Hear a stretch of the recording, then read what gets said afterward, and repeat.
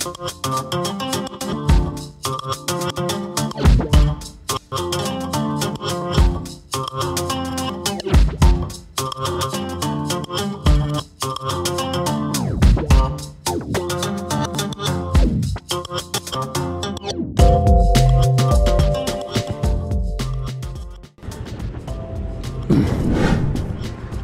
ketemu lagi dengan saya Zaki Ali. Sekarang saya sedang berada di Cikarang.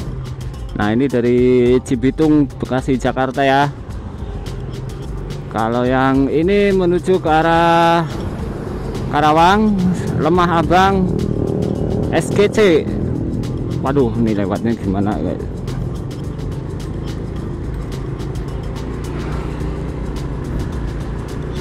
Jalan RE Marta Dinata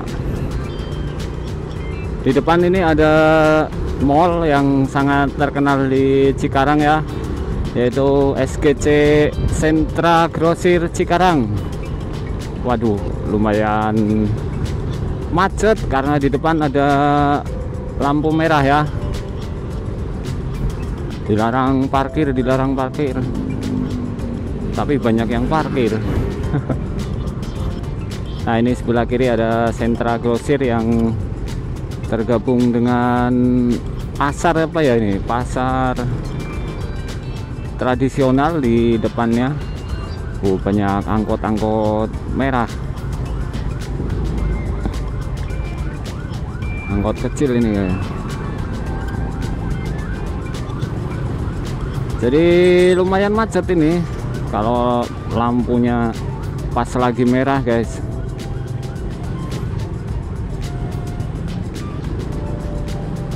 Nah ini pintu masuk ke sentra grosir Cikarang ini sebelah kiri ya. Ada juga pintu keluar juga.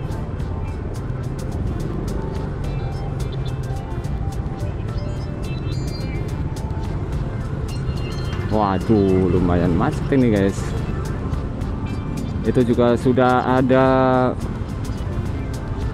tilang elektronik ya sebelah atas itu kamera tilang elektronik yang kedip-kedip.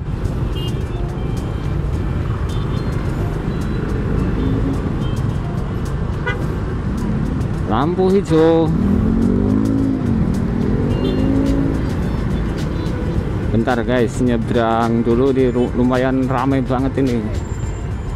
Waduh ke kiri ke stasiun Cikarang ke kanan ke Cibarusa kawasan industri.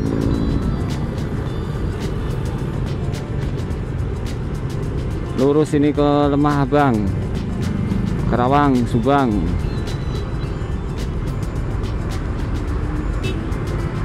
Hmm, masih tersendat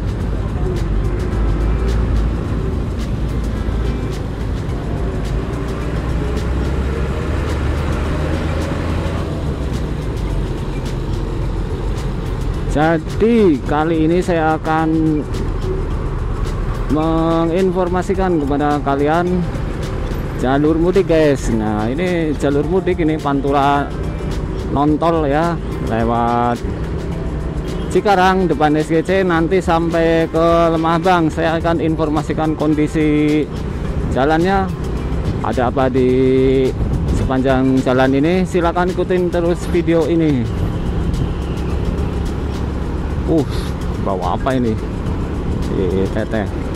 Nah, ini ada jembatan. Lumayan bagus di sini jalannya, jalur mudik. Nah, mungkin kalian nanti mau mudik lebaran 2024 lewat sini. Silakan simak terus video ini dan jangan lupa tulis di kolom komentar mungkin ada yang mau ditanyakan.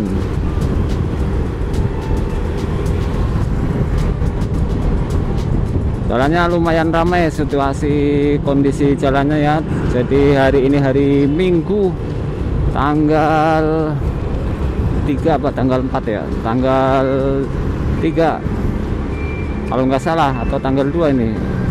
Uh, Maret 2024 uh, beberapa minggu lagi kita akan memasuki musim mudik lebaran oh, ada bis Singaparna Garut Cikarang Cilenyi Karawang. Eh Cilenyi mana itu tadi? Ah ketutupan guys. Juga rute jalur bis ini ya. Jadi cukup ramai di sini. Solaria sebelah kanan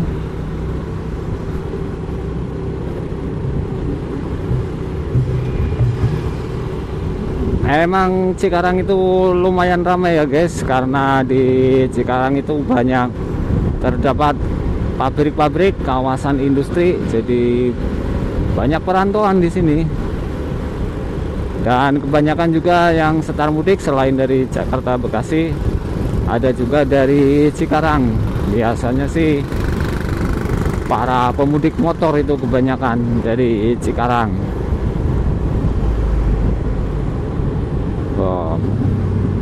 Masih ramai guys. Jalanan juga masih oke okay lah belum uh, lumayan bagus.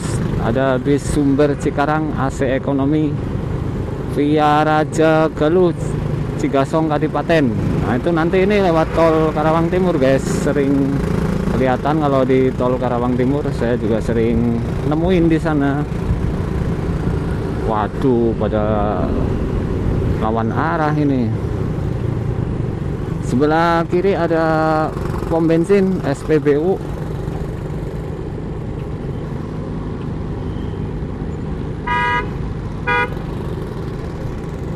nah ini guys ada SPBU sebelah kiri ya. Saya mau liatin kepada kalian SPBU yang ada di sini. Oh, lumayan gede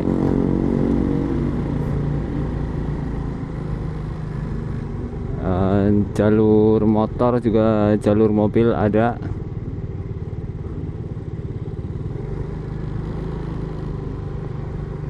Ini ada apa ini? Kayak semacam minimarket ya? Eh bukan. ATM center ini sebelah kiri. Minimarketnya kok nggak ada ya? Nggak ada sih jadi itu situasi pom bensin di daerah mana ini ya? Cikarang setelah SGC setelah sentra sentra grosir Cikarang Jalan Gatot Subroto. Oh. Cikarang masuk Bekasi ya Kabupaten Bekasi.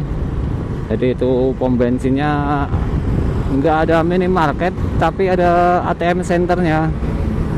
Nah, berarti kalau yang butuh uang tunai itu bisa di situ guys. Oke lanjut perjalanan ke Pantura. Nah setelah pom bensin tadi suasana sudah mulai lenggang.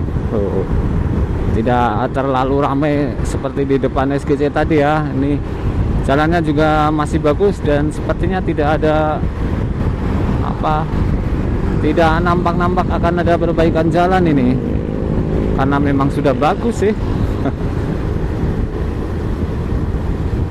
Wah kiri ini ada pohon-pohon nih. Adem eh di sini eh nggak panas ini terasa hawa dinginnya kalian yang mudik motoran pasti hafal ya jalan ini yang dari Kerawang eh Kerawang. Kalau dari Kerawang mah nggak bakalan tahu.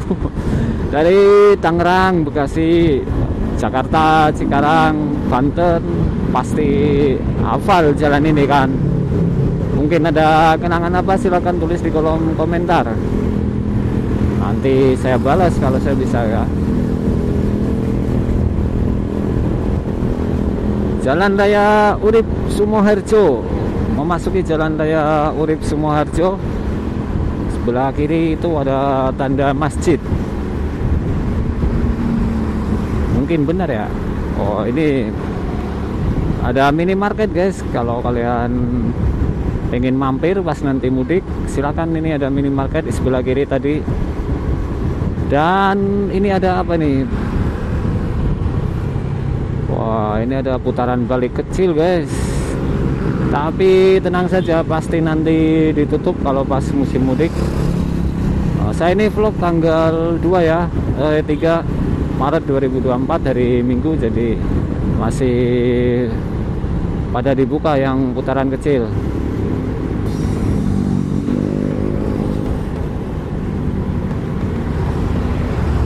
Nah, sebelah kanan ada bis-bis jemputan ataupun bis yang ini antar kota ya. Nah, ini Lemah Bang, guys. Stasiun Lemah Bang itu sebelah kanan kalau ke kanan itu ke kawasan industri tol Jakarta Cikampek juga bisa. Nah, ini nggak bisa langsung kanan ya, harus beloki harus muter dulu di depan di depan sono